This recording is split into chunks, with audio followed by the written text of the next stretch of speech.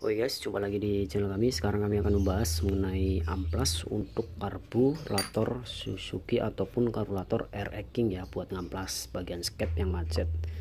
Nah, sekarang kita buka amplasnya ini barusan dapat ya. Jadi di toko bangunan ini yang 1000 cc ya.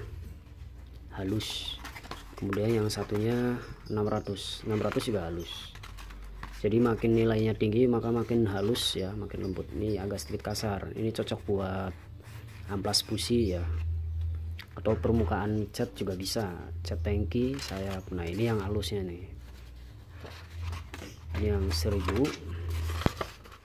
cc kemudian ini yang 600 jadi rencana nanti mau saya praktekkan buat amplas cap.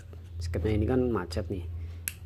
Nggak bisa masuk karena setelah saya buka bagian cat atau semprotan cat karbu ini ya pelapisnya ini badan lunak sehingga membuat mengakibatkan pada head skep di dalam ini kayak merutus-merutus atau bendol-bendol lah.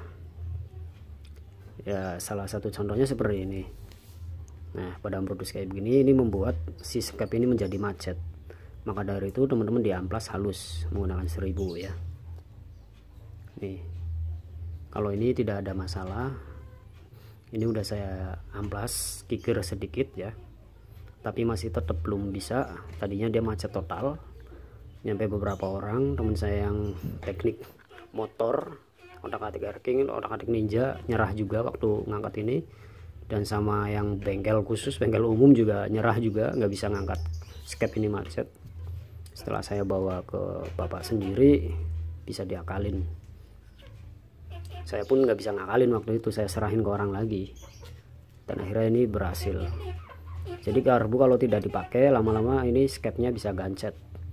Itu disebabkan karena permukaan catnya ini kurang baik atau kurang bagus. Ya namanya karbu KW ya seperti itu. Makanya masa pemakaian hanya setahun.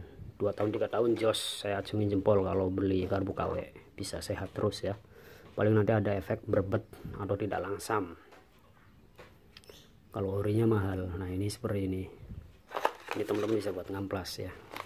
Oke jadi seperti itu untuk tentang amplas pengenalan amplas 600 cc dan 1000 cc. Semoga video ini bermanfaat buat sahabat semua. Jangan lupa di subscribe ikuti channel ini. Sekian terima kasih. Next video selanjutnya